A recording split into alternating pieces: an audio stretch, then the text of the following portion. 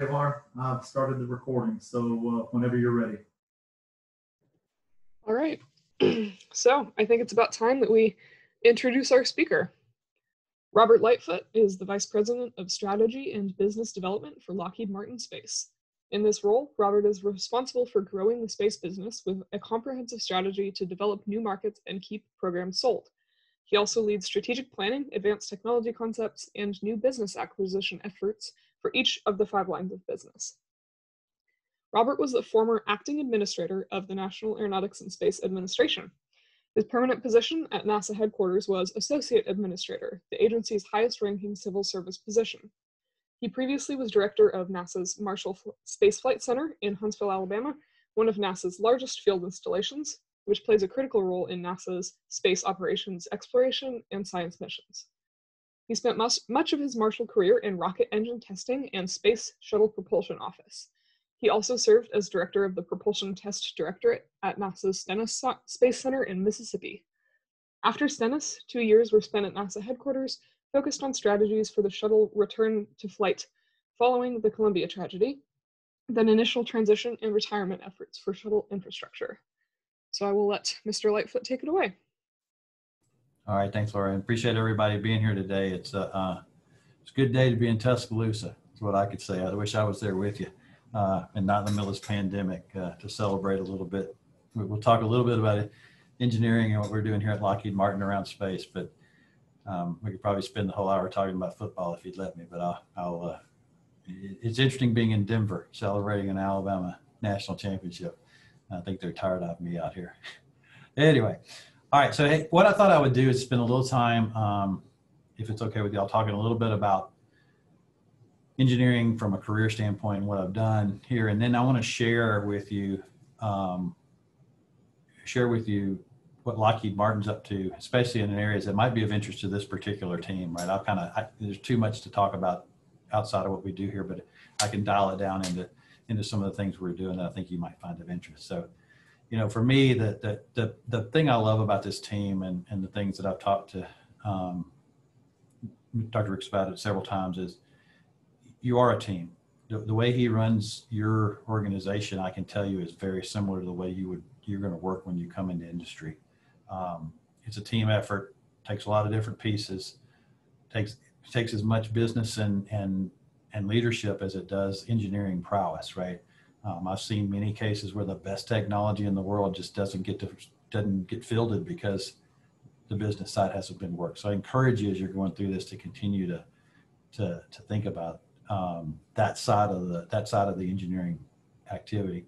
If you're hardcore engineering, there's plenty of hardcore engineering to do, but realize you're going to have to people on the team that that that are going to be more aware of the business side of things and how things play out from a financial standpoint if you're going to a company, right? That's that's a, been an interesting thing. So I think the way y'all are structured and the way y'all operate gives you some tremendous insight into that. Couldn't be more proud of you guys as talk about national champions. I mean, I, I brag I brag about y'all quite a bit out here. Um, when I talk to the teams that are building the rovers for Mars, I said, you just go hire everybody from the team at Tuscaloosa. They'll they'll build your next rover for you. They'll take care of it, and you won't have to worry about it because they're already doing it today. Um, so, so they, again, they get tired of me talking about it, but it's easy when, when uh, you guys have won so many national championships in, in terms of the contests you're trying to meet and, and the requirements you're trying to meet. The other thing I'll tell you is that the, the, the other part of the process you go through that, that's really, I think, critical is, is, is learning how to take requirements and translate them into a product at the end. Um, it sounds very simple, right? Um, but it's also very painful.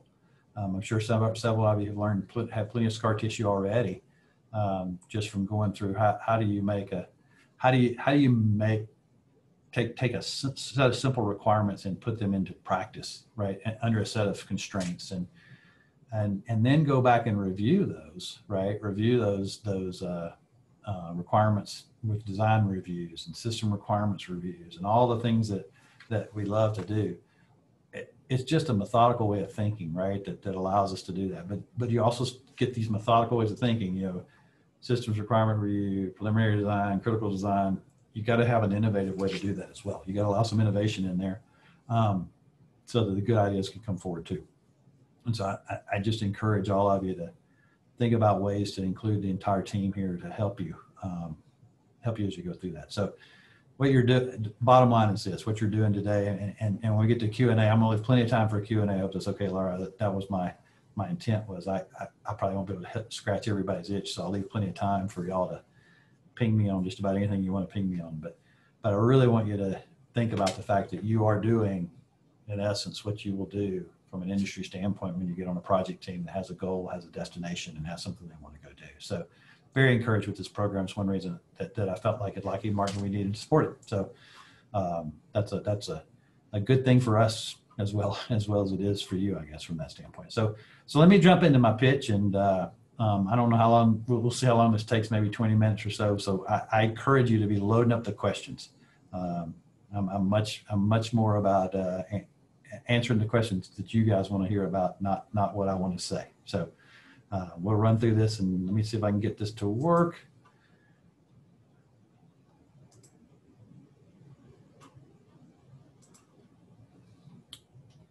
All right, so you should see Lockheed Martin Space Overview. Laura, can you confirm that's what you're seeing on the screen for me? Yes, that's right. All right, cool.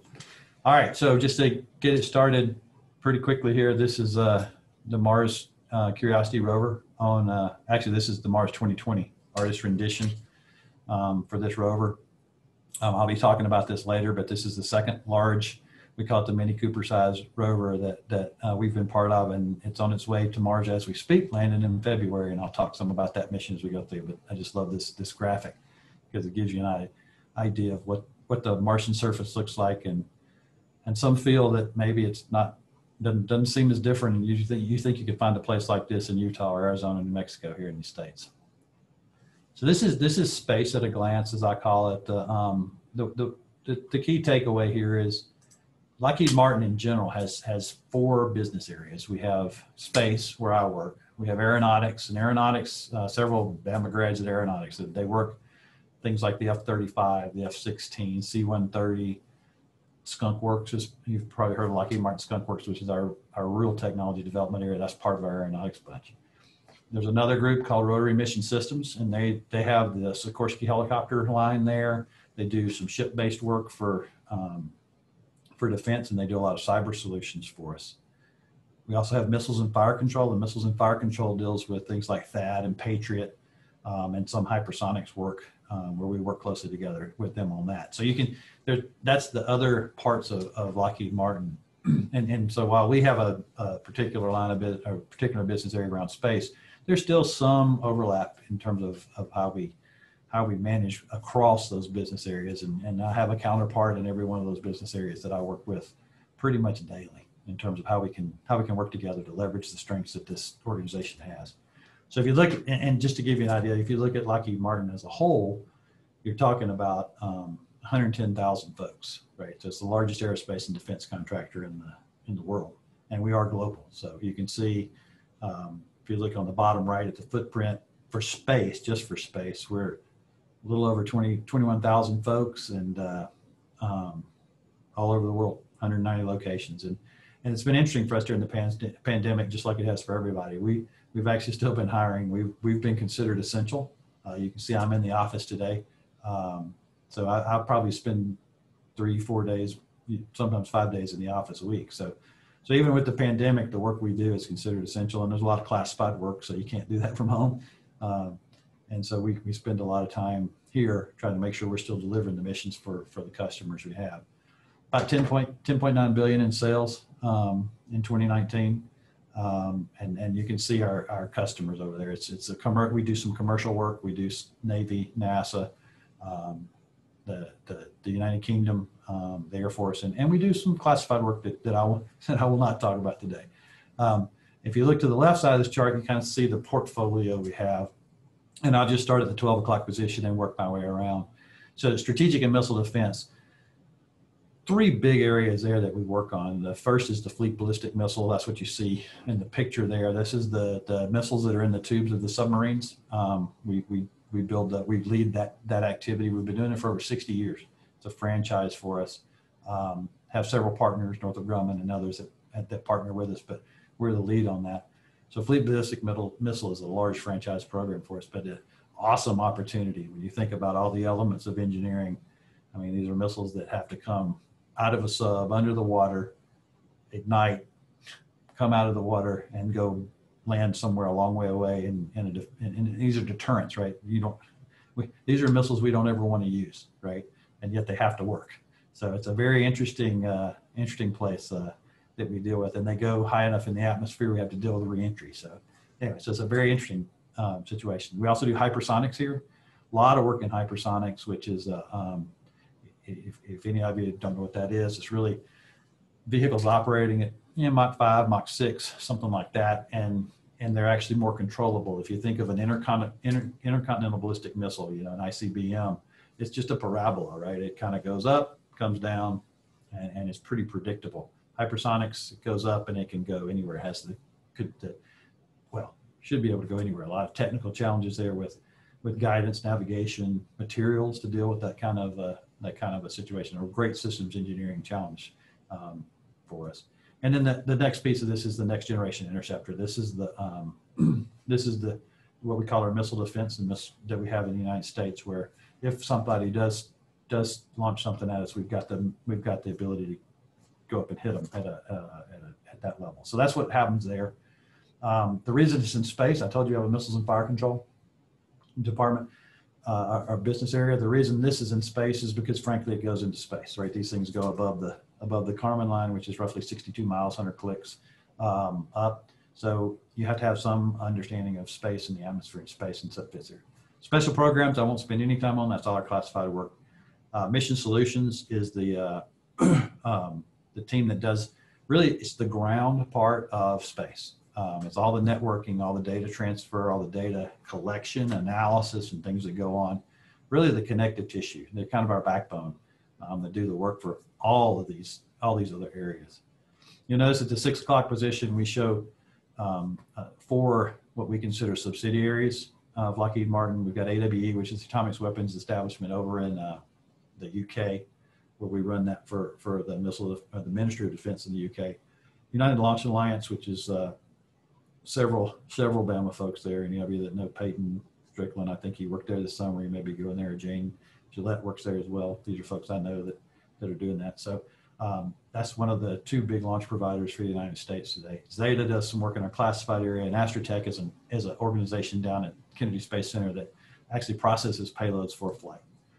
Uh, military space, basically this is where we do all the space communication, protected and secure communications, those kind of satellites. Um, early warning satellites are in here as well for for things that we may, you know, when people when people are doing things, we have a we have some some missions that we do there, and then the GPS satellites are actually built here. So um, we fly GPS satellites. They're built here um, in Denver, where I sit, and uh, they're um, we just launched one fairly recently, actually. So we're we're, we're in we have that contract. And then commercial civil space is the one I'm going to spend a little more time on because um, it kind of, for me personally, it's the intersection of my NASA life and, and what I do here at Lockheed Martin Space. so when you look at overall at what we've done for the years we've been here, um, over 800 satellites built and flown today to date. Um, you know, the Trident D5 is the one I was talking about earlier, 178 tests. We have to test those quite a bit, actually. We never want to have to use them, but we have to test them to make sure they're ready to go. And over the last 12 years, we've had 100% mission success, which is pretty, pretty unparalleled for us. Um, 310 payloads over the 50 years, and then we've supported supported every every NASA mission to Mars. We we are the the, the company of business if you want to go explore in space, in my opinion. Here's to, so now I'm going to focus on the Lockheed Martin civil space side of the house, um, which I talked about a minute ago. This is where we do um, most of what I'll call the public side of, of, of, NASA and Lockheed Martin. So you can see we have deep space, kind of break it into this deep space exploration. We've got Juno, Maven, Hubble, um, it's kind of an old one. The NIRCam is an instrument on the James Webb Space Telescope.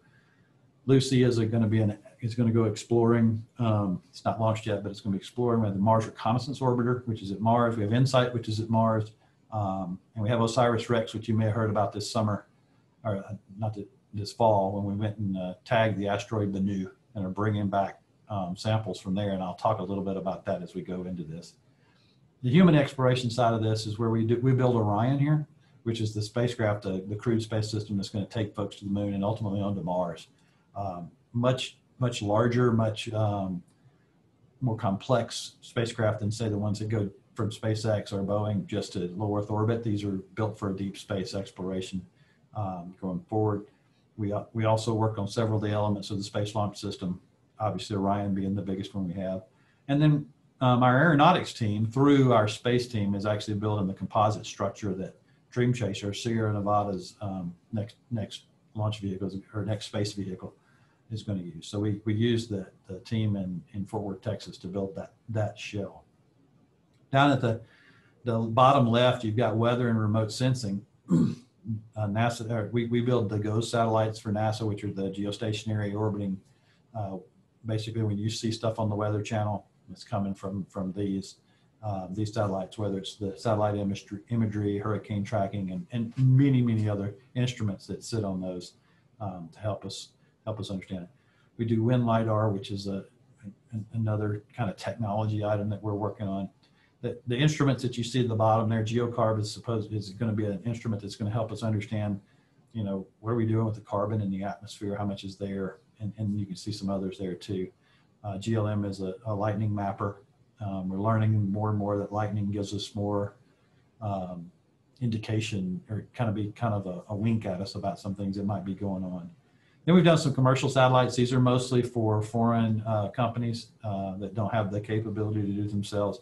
AR6 is over in uh, the Middle East, so it's HS4, and then JCSat is in Japan. Habitats is an area we're working on. Um, you know, if we do when we get to the moon, we're going to have to have a way to live there, uh, whether we have a gateway going around the moon or whether we have stuff on the moon. These are things that we're going to have to uh, work on as a team. And right now we're in the middle of a big competition for the uh, for the lunar lander. so lunar exploration is, is big on our list here. One of the things that didn't make this list, but we do for DARPA, which you see up in the top left, is we're starting to work some of the nuclear propulsion efforts around that. So pretty excited about about doing that as well. So really, really cool portfolio. A lot of great things to work on here. Um, and I'll talk about several of them as I go through. I picked a couple. So let's talk about exploring more. That, I thought that would be the thing we, that I could really poke on. You know, you think about our heritage here at Lockheed Martin, and, and uh, like I said, we've been part of every mission um, that's gone there. And, and the success rate going to Mars is pretty tough, right? This is a, to give you an idea, why things that I'm going to talk about the aeroshell and the back shell and, and the heat shield, why these are important. We, we basically build these enclosures that hold our spacecraft when they go there. And you can see if you look at the landers, you can see several landers all the way back to the, the mid 70s, right? And, and the latest being InSight. and, and you're going to see 2020 comes in. Orbiters, these are things that are going around Mars. It's one thing to have something on the on the on the surface of Mars, but you've got to communicate up to something that can transmit the data back to Earth. Basically, a seven-minute lag uh, between between uh, Mars and, and Earth. And I remember, if, if, any of you remember, in 2011 there was a when we landed um, Curiosity. Well, 2012 when we landed Curiosity on on Mars, the, the the landing sequence was so complex. We called it the seven minutes of terror uh, because of all the things that had to happen. And I remember thinking, wow, we're, we're worried about this seven minutes of terror and, and we're sitting in a control room waiting to get a signal back from the vehicle and knowing that it happened seven minutes ago. So you kind of, you feel kind of, it's kind of a weird feeling of helplessness. Like, not that we could have done anything anyway, but you already know, well, whatever happened, happened. We're just waiting to, to see the results. That's pretty interesting dealing with that. So landers, orbiters, and aeroshells. Now, why are the aeroshells important? Well, in the heat shield and all these things. The atmosphere at Mars is thinner than the atmosphere here, in, here on Earth. And so when we come home on Earth and when we bring back, whether it's Crew Dragon or Crew Cargo from SpaceX or even Orion when we, when we did the test flight, you get a huge advantage of the thickness of our atmosphere. It actually slows you down. And as you go through the atmosphere, it actually turns into plasma. So the space shuttle went through this. You know, you had these tiles that would just basically radiate the heat away. Very interesting uh, dynamic um, going through that. Well, you're typically going to get to to get to space, right? You have to be going 17,500 miles an hour. So all those things that are orbiting up there, they're going 17,500 miles an hour at least. When we go to Mars, we're going a little bit faster, right? and so when you get there, I don't have, I, I can't take a lot of, I can't take propellant with me. This is one of the things we, we always balance. If I could take propellant and fire some retro rockets, I could slow myself down, but that's stuff I got to bring with me all the way from Earth. It's a very difficult engineering challenge. So what we do is we have these, these, we, we spend a lot of time on heat shields and aeroshells and those kind of things to try to, to, to fight through that. But even after we get through the atmosphere of Mars, we're still going too fast, right? And, and depending on the size of what we use, if you go back to the days of, of items like Spirit and Opportunity, we basically, in, in Pathfinder, we used airbags. We, we put big, big, huge airbags around them. So when it landed, it literally bounced across the surface of Mars. Well, with, with Curiosity and Mars 2020 or Perseverance, you can't do that, right? They're too big. So we used a sky crane we actually came down, fired some small rockets to, to settle, and then lowered the uh, the lander down to the surface of uh, of Mars. And then the, the sky crane had its own. Um, as soon as it as soon as it took the load off, when it touched the surface of Mars, it just flew off, right, and crashed some some some ways away. So so they got you got to get kind of uh, creative with how you're gonna how you're gonna land there. And so this is gonna be one of the big challenges if we when we start talking about taking humans to Mars because because the moon is a little easier frankly because it has no atmosphere right? You and, and, and it's so close you can you can bring propellant with you. It's a, it's a lot quicker trip. The other thing you'll find is we can only go to mars well we, we typically go to mars every 26 months. It, that's when launch windows open and it's and it's got to do with the orbits. If you ever want to see a cool thing there's a there's if you if you wait too long or you miss your orbit or missed your opportunity it can take you multiple years because you've got to catch back up in the orbit. So we actually truly go when they talk about orbits have to align. That's when we launch, and we have small launch windows where we can do that. Um, Curiosity, for instance, was supposed to fly uh, in 2010, late 2009. Well, we couldn't we couldn't launch it until 2012 because of the because we missed the window. Right, we were having technical problems, missed the window, had to wait two years before we could go. So Mars is a tough putt, um, but we've got quite a bit of experience in, in, in doing that. So what will the 2020 mission do when we when we think about this? You know, I think the goal here is really to understand the geology better. Um, and then we're really looking for signs of life. We've sent, sent enough stuff there that we've got um, a lot of opportunities to to kind of think about how we're how, how did what happened to Mars? Is it something that we need to understand here on Earth, right? Because um, it could happen to us. We used a we used a spacecraft called Maven that showed where the solar wind has actually taken the atmosphere off of Mars. Mars may have used to have an atmosphere, but these winds have kind of ripped it off. Um, and, and, and, here on Earth, we don't have that because we're protected by the by the, the Van Allen belts and the magnetosphere around the Earth. Very interesting science stuff here. So that's that's what we're trying to do. So what we're going to do with this rover is we've got these samples that are these uh, little tubes that we've created that are mega clean, and we're going to go start taking samples. And if you'll notice in the picture up here, there's a couple of these on the ground. That's where we're going to drill a core and put the sample, and then we'll collect them later with what we're calling a mission called the Mars Sample Return. So pretty exciting, right? Because we want to bring those samples back, um, and that's going to create all sorts of technologies that we're going to develop to go actually get them and bring them back. Now, on this mission, we've actually we got we got this uh, helicopter called Ingenuity. Now, you know, helicopters need atmosphere to uh, to to fly, right? Or the blades don't have anything to, to beat against.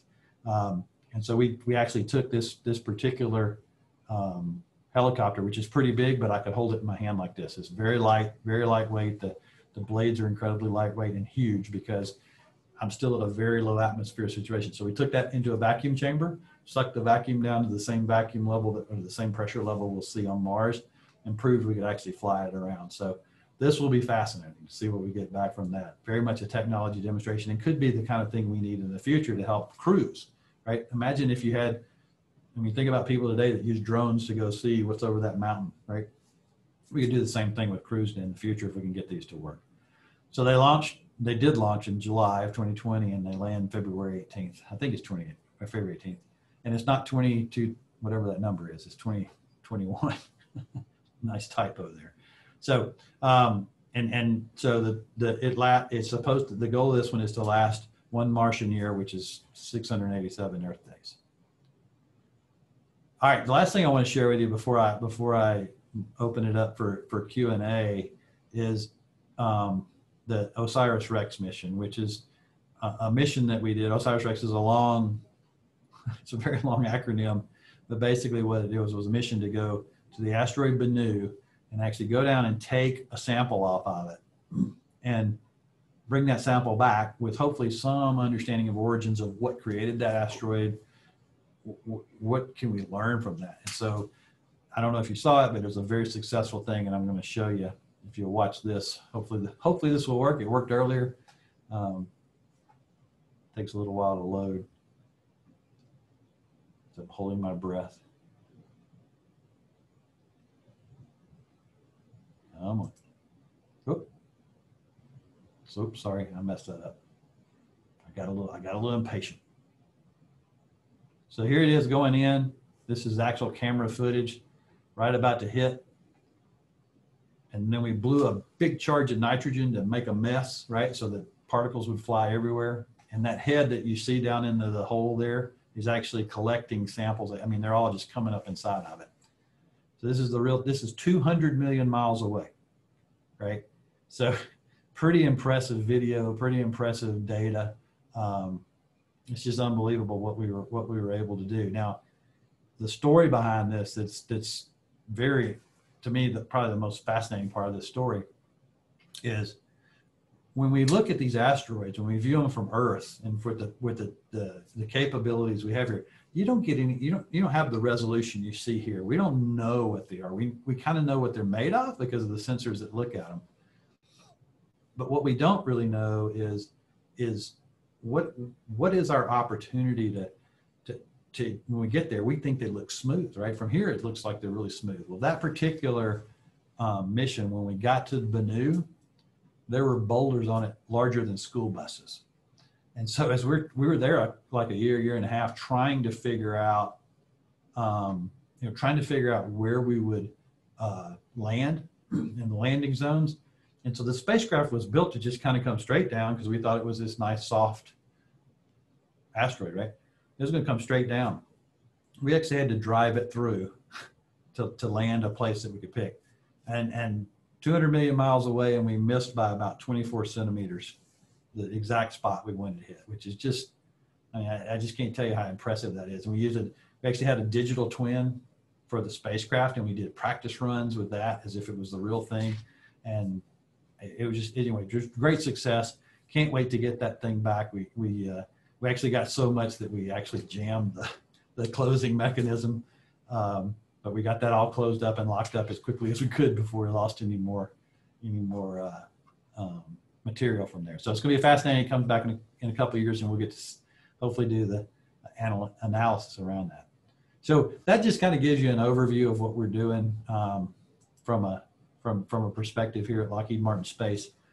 What what I'll share with you now before we jump into Q and A is is is um, you know you you can do you can get involved with just about anything you want to get involved in uh, from this perspective. You guys are getting a great a, fantastic basis and foundation from which to jump off of into, into business like this to do those kind of just crazy things. And I think if you if you haven't learned it by being on this team, or, or I promise you will learn it, that the power of a team to do stuff greater than you could do by yourself is the most rewarding thing that I've ever been involved in.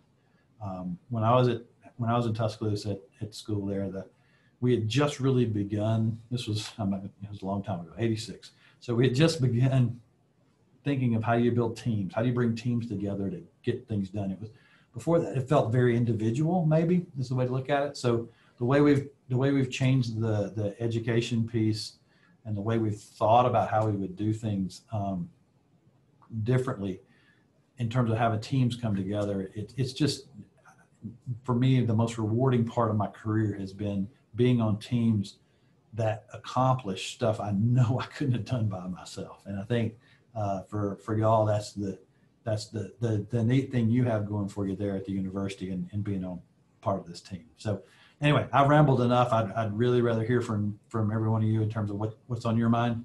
Um, so fire away with questions. Uh, we'll we'll, we'll uh, I look forward to. I think what we get got everybody to what? I don't want to keep y'all too late because I know some of you are, are, are suffering from last night a little bit, and some of you probably want to get out with your buddies tonight, celebrate. But uh, Laura, I'll let you just run it from here and and fire away uh, with anything you want.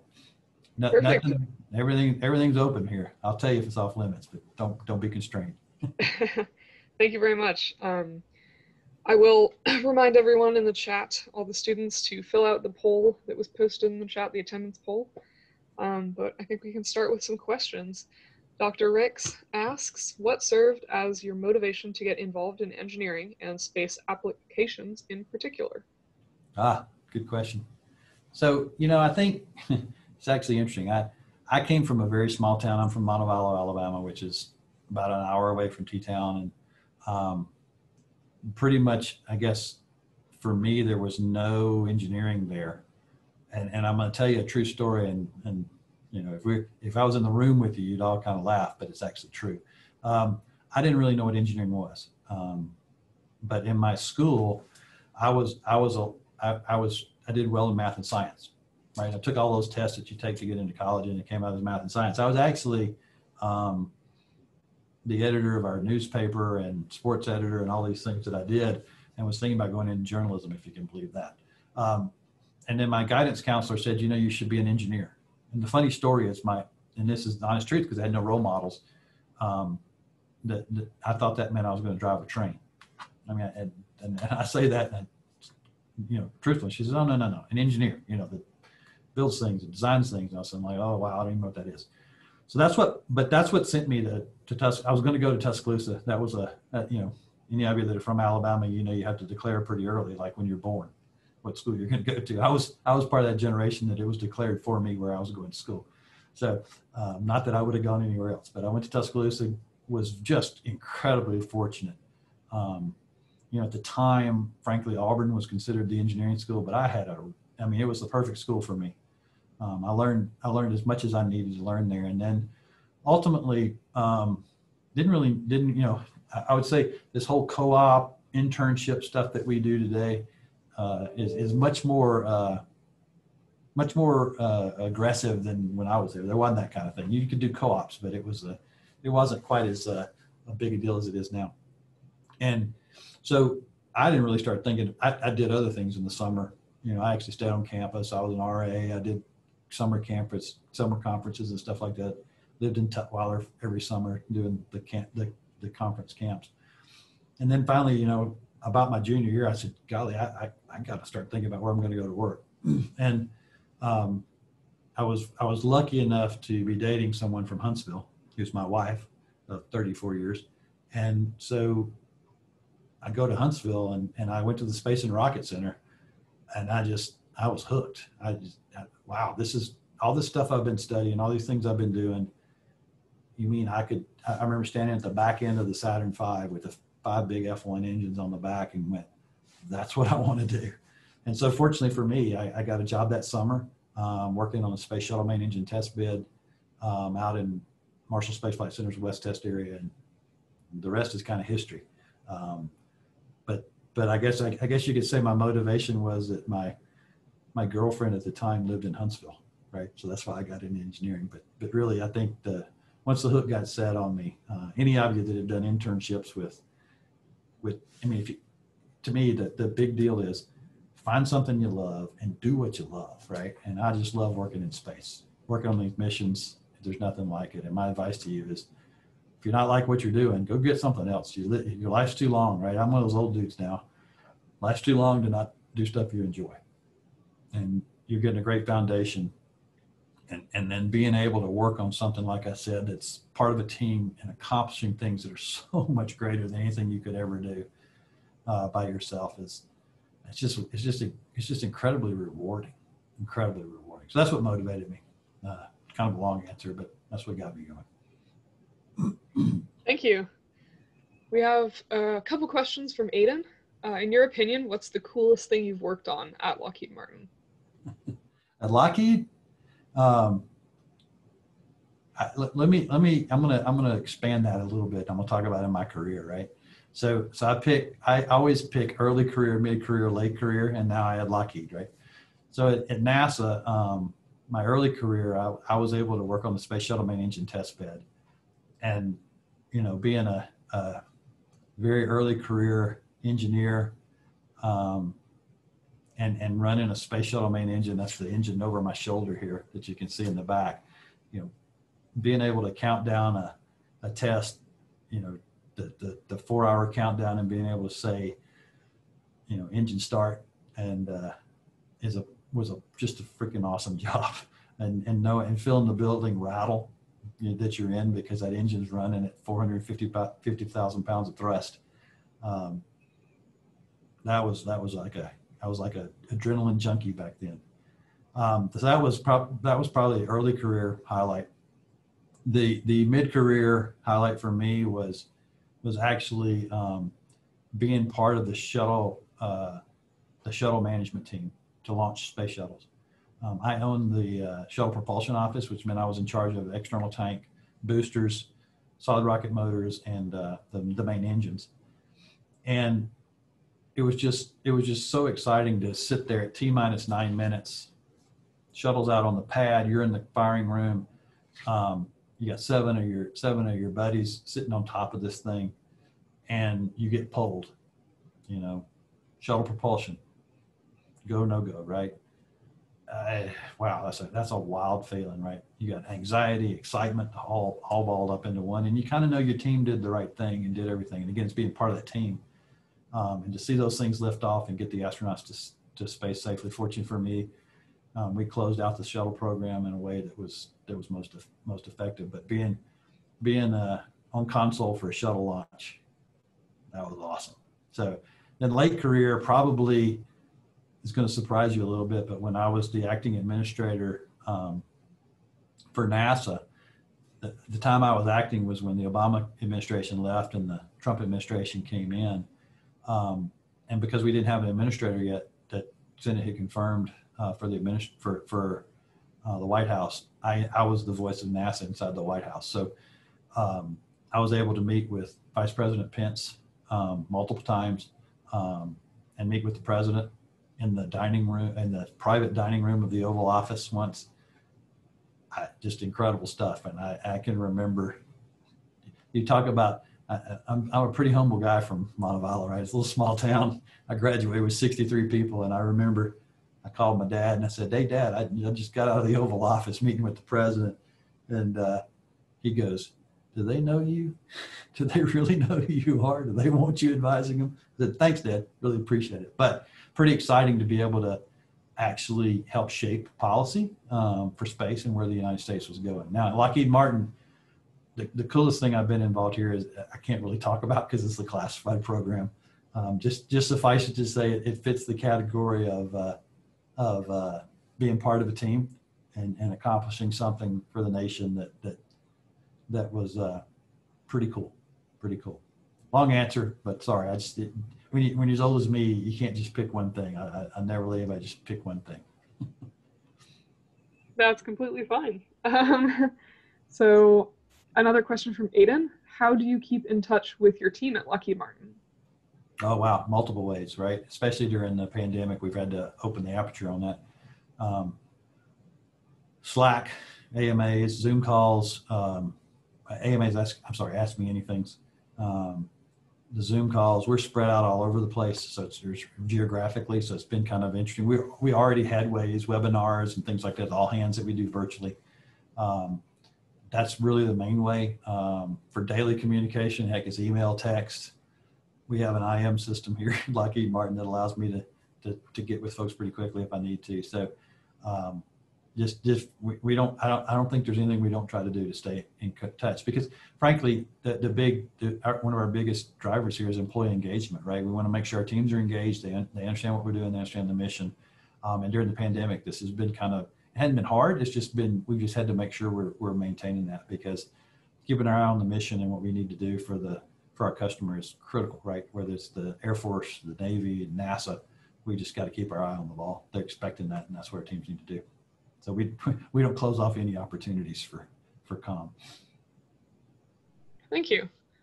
I have a question from Dalton. Does Lockheed plan on assisting in future missions to other planets or moons, such as Europa? Absolutely. Yeah, we're we're uh, we we constantly work with the uh, what we call the principal investigators. There's several of those. The way NASA does it on those kind of exploration missions is the award typically there's a print there's somebody that wants to own the science. It's, it's science led. So there'll be a there'll be what's called a principal investigator, and that's the person that proposes the science they want to they want to prove or not prove whatever. They have a hypothesis and they're going to go prove. So take Europa for instance. The the first mission to Europa, which is uh, the Europa Clipper, is actually going to map Europa and talk about where we might put a lander. But we've also, but also may depends on where they where they go with this. They may try to fly through one of those plumes to see if they can detect what's actually in those plumes. Um, and then that principal investigator will work with companies like me or somebody else, like Northrop Grumman, for instance, is building James Webb Space Telescope. Um, Lockheed Martin is building built Juno, and and it becomes one of those cases where um, we get to be part of the competition process. But we're that that's our sweet spot. We like we are very aggressive in trying to help the agency get their missions done and the principal investigators get their stuff done that way. Osiris Rex, we built Osiris Rex, but the principal the principal investigator is uh, Dante Lauretta down at the University of Arizona. So that's very interesting. I have a question from Brayson. How do you account for lower gravity in the tests of these rovers and landers, such as for the calibration of the flying machine on Mars? Yeah, it's tough, right? So, so the helicopter was actually kind of, I won't say easy. It was easier, right? Because I could put the, I could put the uh, helicopter here on Earth. I could put it in a vacuum chamber and chamber and suck the vacuum down, so and and create the atmospheric conditions that I would see on Mars. But you still, but the, the bigger challenge is actually with spacecraft that are that are just in space, right? Because there is no gravity, right? And even I can simulate all day long here as much as I can. So we use thing, but it's tough because you still have gravity here. Um, so so think about two spacecraft that have to mate in space, right?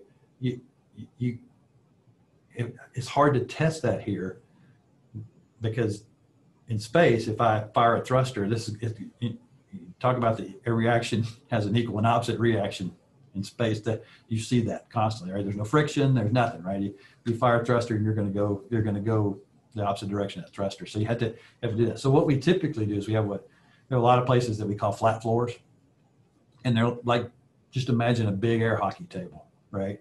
It's a way to make to make these two spacecraft operate here and take away um, uh, take away the, the, the gravity by putting them on air, right? And so and you have air thrusters that blow and it just moves all around the place. But it's, it's still hard, right? It's, that's one of the bigger challenges because you want to test as you fly, as we, as we like to say. And that's about the only way we know how to do it. Now, one of the other things we've been able to do is prove a lot of this. We, we actually have started using models and, and, and really complex digital models to let us let us do some of that. But that's how we that's how we have to we have to account for it. There are some things we do like if, if you think about it, um, I'll use solar arrays, for example. Solar arrays, to get them to space, they have to be very lightweight. Okay, very lightweight. And they are very lightweight and they're complex. You see a solar array on some of these pictures and you go, oh, look at that big. Trust me, they're very, some of the most complex things we do. But they're very lightweight. So if I actually, and we have to unfurl them, right, in, in, in a, uh, to, to verify them here on the ground. Problem is, what they need to what they need for support in space is not what they need here on the ground. Gravity would actually actually snap them off of the spacecraft, right? But in space, doesn't matter you don't have the gravity. So we do counterbalances so that when we unfurl them, we take the load, right? We have uh, ground support equipment that'll hold the load so that it doesn't break. So th- there's all sorts of things we have to do from that, from a design perspective. Fun stuff, though. I mean, that's the kind of challenges that that everybody likes like to do. Very good. We have a question from Jonathan. Are there many engineers who have experience working both for NASA and within the private sector? Do you find that you have a unique perspective as a result of that experience? There, there's several of us. I think um, I don't know if it's I don't know if it's, it's unique, right? I think it's more um, every experience you get, just get I, I, call it scar tissue, right? Everywhere you go, you get more scar tissue that helps you in the next role you take. Um, there are there are a lot of there are a lot of folks like me that that leave the government and go into jobs like I'm in here at, at, at in, in, in, industry but I'm not doing much engineering anymore, right? I'm in a, I'm in a senior management position and um, I've got a bunch of engineers that work for me, right? We have a ton of, we have, I think in space of our 21,000 folks, I think about 12,000 are in what we call our engineering and technology organization. So the real, that, that, when, when you, when you get to a certain level where you're, you know, I was brought in not so much for engineering, but for management and leadership capabilities, right? Um, it's how, it's how we look at it when you get up to these certain levels. Now you got to have the engineering background, you got to have the, the, the, you know, the, the technical chops to go with it whatever your discipline is, by the way, whether you're business, you know, if you want to be a CFO, you got to have some technical chops to go through the financial side. And so, so what I've found is that, that I do bring a different perspective here because I used to be the customer, right? I used to be Lockheed Martin's customer and now NASA is my customer. So there is an advantage to maybe knowing some of the uniqueness around the language and things like that. Um, but there, I, would say I'm not quote unique from that standpoint. I think there are a lot of folks that have done that, generals and senior executives in other agencies that, that, that retire and you know they get the itch to like I did. I mean the itch to get back into the mission, right? That's what drives you, and so uh, that's what we that's what I did. We have somewhat of a related question from Grayson. Um, if one wants to be constantly involved in construction of rovers and satellites, is it more advantageous to work for NASA directly or for a major contractor like Lockheed? Yeah, that's a really good question. I'm going to be biased here, I know, but uh, so I, so take it with a grain of salt that I work at Lockheed, so I'm biased. I, I actually think what you have to do is you, you need it depends, right? It really depends on where you end up in NASA and what NASA, what the role NASA is going to uh, have you do. Um, and what I mean by that is NASA actually 85% of the dollars that NASA gets are actually they go out in a procurement, uh, an acquisition, right? So they pay people like us, Boeing, Northrop Grumman, Jacobs, all these different companies. They they actually go buy a lot of the work and talent. So I would encourage you. Great opportunities. I mean, I was lucky. I got to run engine testing for for NASA when I was there. I got to work on the shuttle program. But even when I worked when I did engine engine testing, I was actually you know, it was a NASA team, right? That's a big deal, and we had contract support.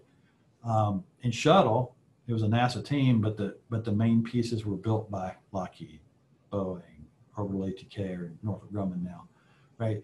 So so they did a lot of the, the engineering. So I think it really depends on where you where you want to land and what you want to do. But but like you know, if you build satellites, Goddard Space Flight Center in, in Maryland builds satellites, right? Um, and they have support teams to do that. But a lot of times they actually buy the satellites from folks like us. So that's the, it, it just depends on where you land in those organizations. Um, is to as to what you could the, I would call it the hands-on versus the the systems engineering or the management approach, and it also depends on what you're interested in, right? Um, going in. So there's lots of opportunities on both sides, is what I would tell you. Um, but I, I, can tell you, we're always going to be involved in building the rovers and with Jet Propulsion Lab. You know, that's our that's our partner, right? Is JPL and, and a lot of those, and and then the NASA Science Mission Directorate and, and NOAA for the satellites that we built here on the commercial civil side we also built some for the national defense side with GPS and, and early warning satellites. So anyway, lot, but we build those here. We don't, we don't, uh, we don't farm that out, right? So you just got to, I think you just got to pay attention in, in terms of what you want to do, where you think you can get the most bang for that buck for you personally.